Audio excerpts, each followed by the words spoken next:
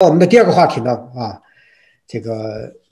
我们讨论西方啊跟香港的关系啊。现在北京呢要搞这个国安立法的决心啊，这是不可动摇的啊，非常坚决。我看中国的人大委员长已经在表态说，一定要完成这个立法的任务。那么这个香港啊。挡不住这样一个立法，但是呢，国际社会有没有办法帮香港一把？这是我们要关注的问题。呃，那么国际社会呢，最值得关注就是即将召开的这个 G7 的一个会议，就是说香港的最后这些希望啊，可不可以投射在这个 G7 的啊这个援军啊？我们标题叫援军这个问题呢，我们想听听这个吴强博士的看法。对 G 七会议，我们知道六月份就要召开，很快就要召开了。那么彭彭定康，呃，上一周呃找了一些人，一一将近两两百个人，发了一个公开信，呼吁呃六月份召开的 G 七会议要支持香港的自由，呃，反对北京的国安立法，这是一个基本的背景。那么我们也看到相关的，比如说《金融时报》。等等一些媒体也发出了这种立场性的评论，呃，要求，呃，六月份的 G G 七会议，呃，这些政客要支持香港民众，支持香港自由，要要要，这是这些呃立场性的评论已经出来了，呃，那么这是一个基本背景，就是 G 七。对，但是 G 七还还没开，还没召开，是六月份要召开的这个，呃，当然也是视频的首首首脑会议没召开。但是我相信，在目前的局势下，在不久前世卫组织对中国的这么一个问题讨论，其实只是通过了一个很软的决议的背景之下，我相信 G 七对于瘟疫的讨论，呃的同时。也会对香港的问题做一些表态，而且这个表态，呃，会和呃去年九月份，嗯近期的一个表态，我相信会更严厉一些，不不是在一般意义上，哎，呼吁北京方面保持克制，而是应该会，呃，有一些更严重的、更严厉的一些立场性的声明。就好像我们在今年初所看到的北约的一些立场性的声明上一样，我相信近期在六月份会有一些呃更严厉的立场性的声明，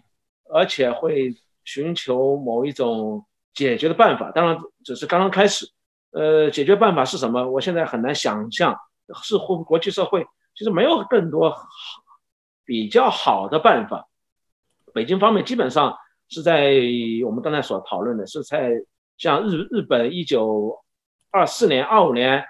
自然维持法的状态一样，是一个一意孤行的一个状态。呃，基本上是在大幅度的往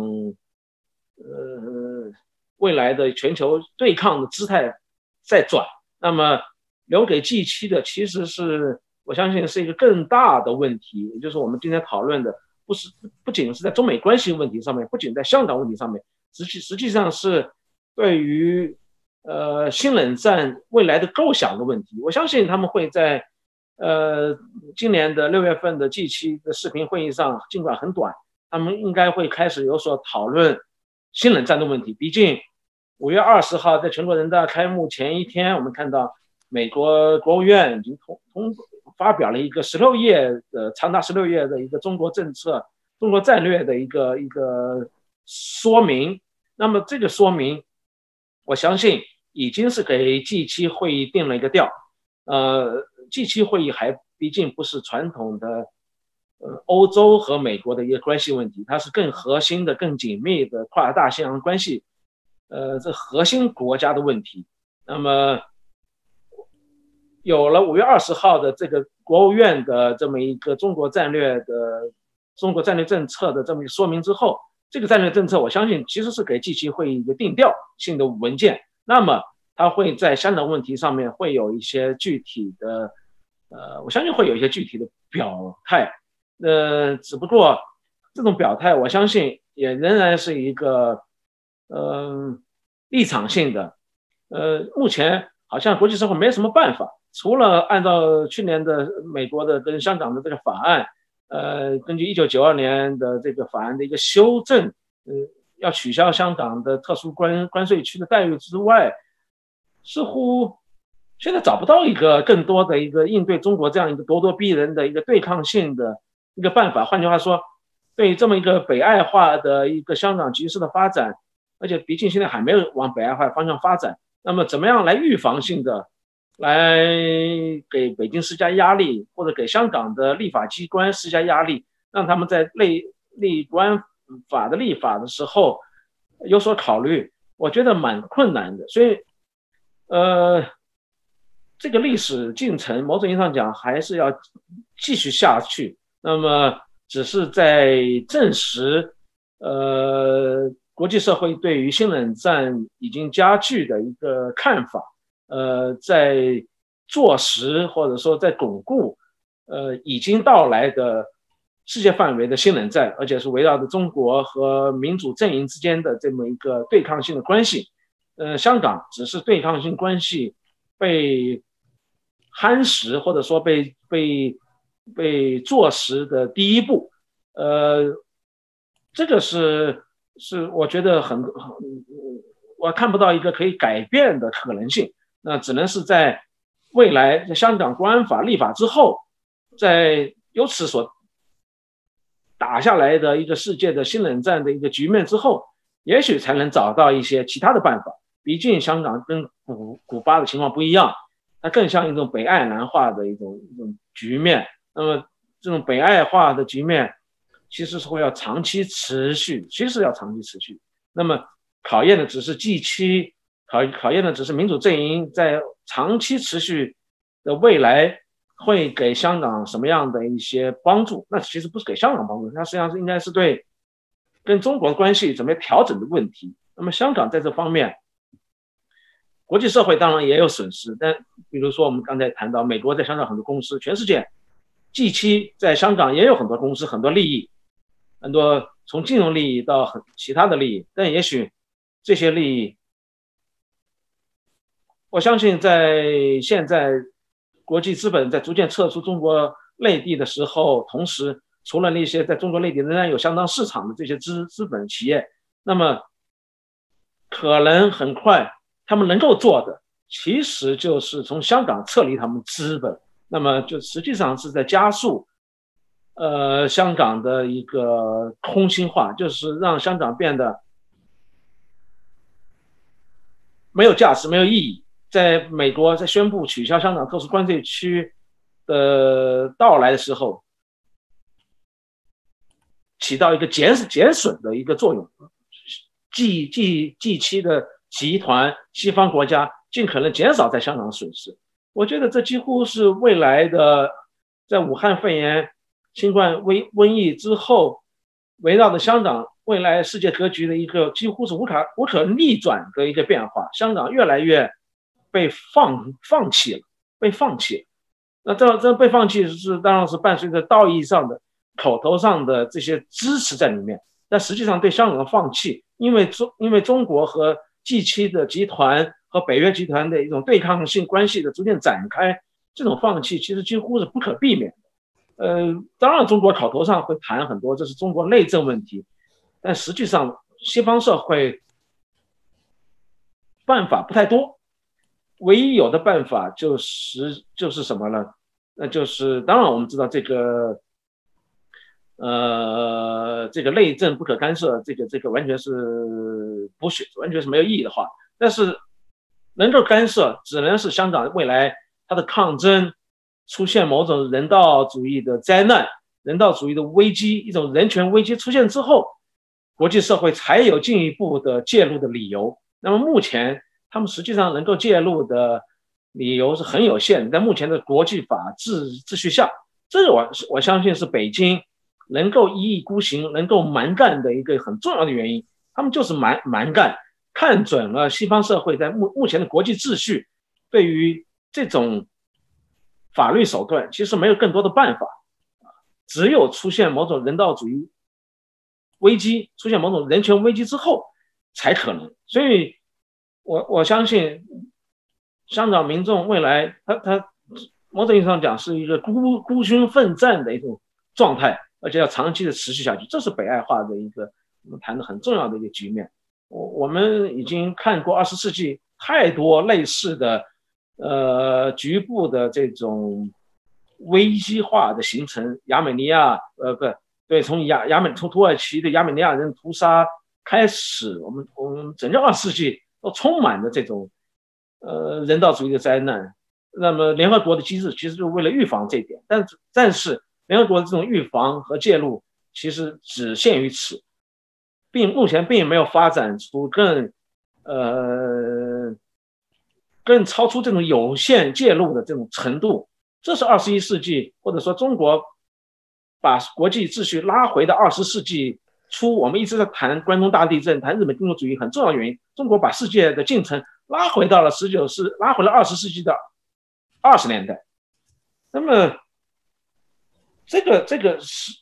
这是历史的大倒退，倒退回了一百年前。那那么。我相信国国际秩序、国际社会其实没有做好准备，没有办法，这只能是是面对这种历史的大倒退而无可奈何。只有未来的继续等待，让它发展为人权灾难之后，才有可能有理由采取更真正的对抗性的办法。好，明白你的这个大概的意思。那么，假设一个前提啊，就是西方社会啊。即使是铁板一块，也对中国这种啊，这个前面你谈到一意孤行的做法无能为力啊，你是这种基本上是这种看法？是的，是的，基本上是目前是无能为力的。至少未来几年内，基本上除了道义上的、口头上的支持、谴责，呃，一方面支持香港民众，一方面谴责中国政府，基本上他们能够做的是很有限的。当然，还能够做的就是撤出。他们在香港的资本，撤出他们在香港的利益关联，这也是他们唯一能够做的啊。那么，你认为这个美国的这个如果领先制裁的话，会不会起到某种意义上的遏制作用？效果不不大，效果不大，因为各国如果说看到这国安法的立法不可逆转的话，那么其实都会采取一个撤离的方式。呃，那么这种撤离也让这种香港作为一个特别关税区的意义也消失了，而且随着未来，中国也开始单方面的主动采取一个，我们看这是两会上所谈的一个内部大循环啊，现在两会在谈内部的大循环，呃，当然他也谈双重循环互相促进的问题，那实际上现在又陷入到了一个中国自己开始单方面的要把自己的世界工厂这么一个模式要放弃这种世界工厂模式。要开始转向内部，那世界各国都开始转向内部，美国当然更早啊。那么这种情况下，香港它当年的繁荣是因为冷战当中的作为一个桥梁的作用。那么现在，所以在新冷战当中，香港恰恰它的尴尬是因为在新冷战当中，柏林墙见到了香港，那么失去了这么一个新冷战当中的桥梁的意义，这个是。是香港的一个悲剧所在，它不再扮演着冷战当中的一个桥梁、桥头堡的一个作用，而且北京现在是着手要消灭，他在为新冷战做准备，要着手消灭香港在冷战当中所起到的一个桥头堡的一个一个可能性，不想让香港成为所谓颠覆内地、输出内地颜色革命、输出颜色革命到内地的一个桥头堡，这是。北京方面，我们说把香港列为它的国家安全最大的担心的这个四大担心其中之一，主要的原因。那么他现在就把柏林墙，他的国土安全防的其实不是香港民众的抗议，他防的是担心香港输出颜色革命到内地，他最担心的始终是这一点。那么在这一上讲，香港民众在抗争之后，也许会和北京的控制。达成某种均衡点，这种均衡点就是让这种控制抗议变成是可可可控的，至少不会让抗议跨过深圳河。那么，他的国安法的目的就实现了。这是他扎柏林墙的主要的目的。就内部安全，还才是北京真正的要在香港扎柏林墙、建柏林墙、搞国安法的一个主要的原因，不想让香港两百万公众的抗议输出到内地。那么在这意义上讲，西方社会能够做的，其实只是在更大范围展开全球性的新冷战的对抗竞争，而不是在香港。在香港，他们只能是采取一个撤出的方式。那么这种撤出，呃，不会因为美国对香港每年的审议变得就会来来回摆。我相信一年之内或者很快的一两年之内，民主社会传统的新自由主义的在香港的资本利益都会慢慢的剥离掉，跟中国大陆的很多的也会采取某一种形式的剥离。呃，当然还会，如果有中国市场能够取得某种平衡，那么这种交流当然还会存在，但是已经变得是无足轻重。比如说，美国通用汽车也许仍然会在内地设厂，仍然要赚中国市场的这个钱，但是这个相互默默认的，相互默认，就好像美国仍然要进口中国的很多的廉价劳动力的产品，呃，中国仍然进口美国的农农产品，仅此而已。但是香港在其中扮演的角色就变得越来越弱了。还会有继续在做贸易，但是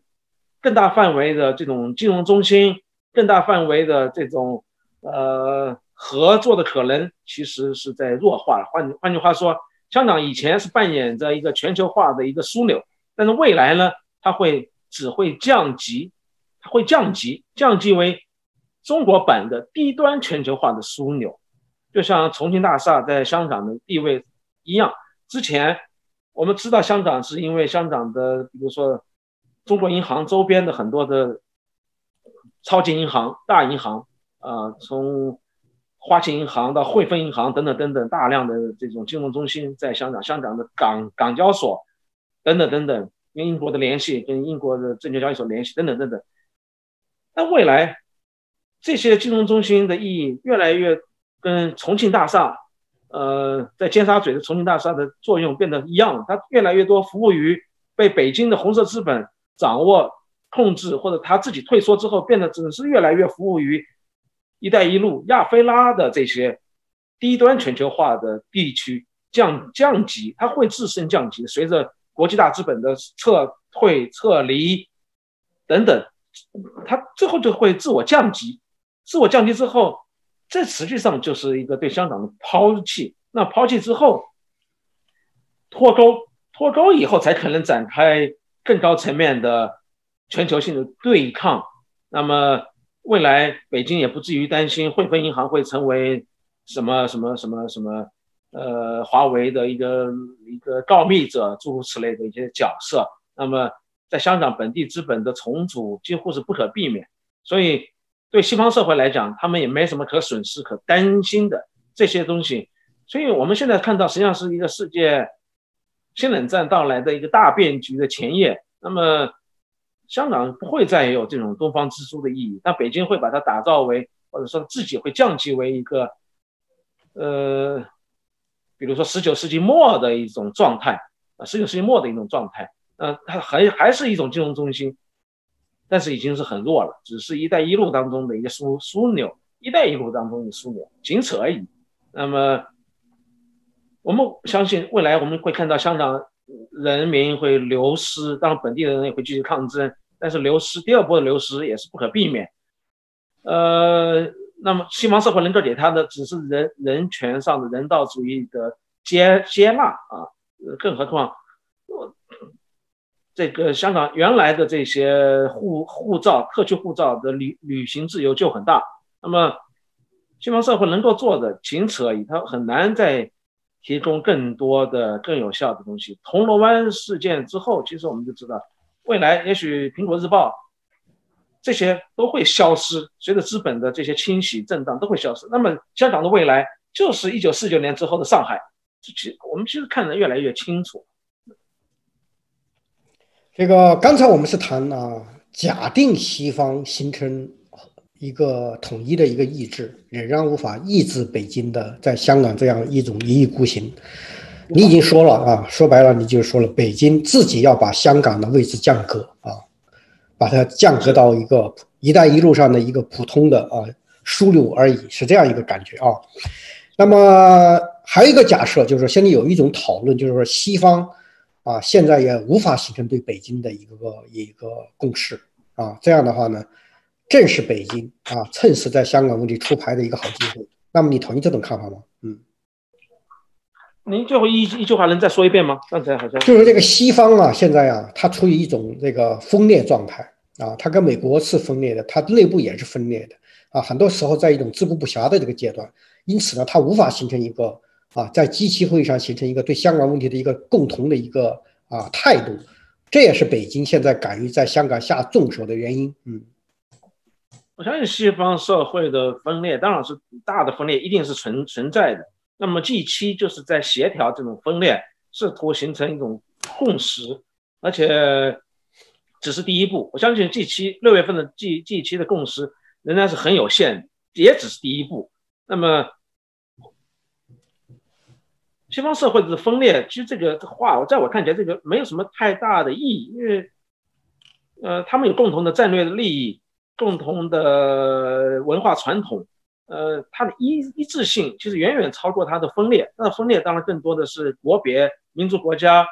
以及地缘政治上的不同的考量和中国的这种利害关系的权重有有变化。而且不同国家，比如说欧洲和美国，在人权问题上面，它的权重也是不一样的。那么会有这种差异性。但我相信，呃，过去几年、二十年。也许在内在对中国政策上面，尤其过去四年、三年对中国政策上面，如果说有分歧、有差异的话，那其实现在是重新走向一个团结的一个过程，就是新冷战到来，武汉肺炎所促成的，让国际社会，尤其是像 G 七成员国及关关键的成员国，会形重新形成一种共识，尤其是在川普的第二个任期。如果说他不再任的话，我相信这种共识也许会形成的更快一点。那么，这是未来会刚刚开始的一个重新形成一个对华政策共识的一个很重要的一个路线。它不会六月份的会议马上就形成，但是我相信会随着新冷战格局的固定化、新冷战格局的深化，那么西方社会围绕着 G7 成员国更大范围的。会更加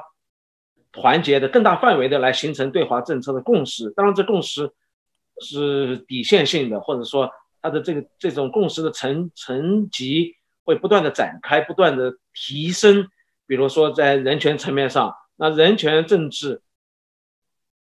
会在，我相信人人权政治会在未来呃西方世界对华政策上面变成一个共识的一条主要的线索。而不仅在地缘政治上面，地缘政治上面，在地缘政治上面，在围绕经济方面，我相信这种差异性是不可不可避免的。呃，欧洲也好，加拿大也好，呃，美国也好，对对华的贸易经济，他们都有不同考量。呃，法国、德国都有不同的考量，但是在人权政治方面，他们的共识会越来越强。这个我觉得是应该认识未来新冷战的一个。重要的格局就是，中国是一直是以为经济上面的利益利害，通过经济上的谈判就能够分化西方，能够分化西方世界，包括他不谈意识形态，那么也能够分化。这是中国现在新冷战所展开的一个策略，就不谈意识形态上的东西。呃，因为他汲取冷战经验的教训，是是过于坚持意意识形态，那他现在不谈意识形态，以为西方社会也会处于一个没有意识形态的共同的。敌人那么会处于被经济上的这些牵制，呃，表现出更分裂。但是，但是实际上我们要看到，呃，在冷战期间，比如说一九七三年、七五年之后，欧洲也好，美国也好，在人权方面都逐渐的上升。赫尔辛基协议是一个转折点。美国其实，在福特总统任内，人权政治之前一直不重视的人权政治也逐渐的上升。到了卡特总统任内。人权政治成为重要的一个对外政策的一个指南针，尤其到一九九二年，美美国政府呃，美国国会批准了联合国的政治，呃，公民和政治权利公约之后，这个局面发生了变化。当然，九零年他们在这个方面人人权方面做的并不好，但是现在新冷战，我们将来有机会的话，我们可以展展开谈新冷战的未来的这么一个格局下，人权政治会成为一个主要的西方世界能够团结、能够对华展开斗争的一个主要的战场。而这个战场不会只在日内瓦的联合国的人权委员会里面，一定会在更大范围的展开，而且伴随着各种的贸易上的制裁、经济上的手段以及其他方面的对对抗性展开，呃，各种可能的这种升级的介入的方式。我相信未来随着香港人权抗争、自由抗争的这种展开、坚持深入，那么这种。实实际上，它会帮助西方社会形成这种共识，加强这种共识。这是一个，这是一个长期的过程。我们现在谈的实际上不是明天、下个月会发生什么事情，我们现在谈的实际上是两年、五年、十年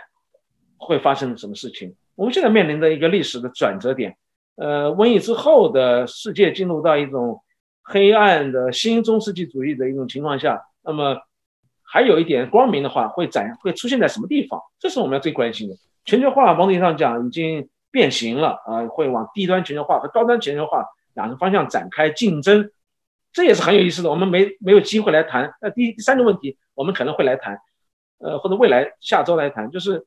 中国在全球化在经济方面展开的竞争，其实以香港为标志，就是展开一个低端全球化和一个高端全球化的竞争，就是所谓的华为在当中扮演的角色的问题。他用什么样芯片和民主世界和西方的高端全全全球化来展开竞争？中国放弃世界工厂模式意味着什么？那么这两种全球化版本，其实在未来也是展开竞争。那这种展开竞争，这个其实竞争一开始的结局就我们就我我觉得我们就能够知道，呃，低端全球化不是说没有胜利的可能性，但是，呃。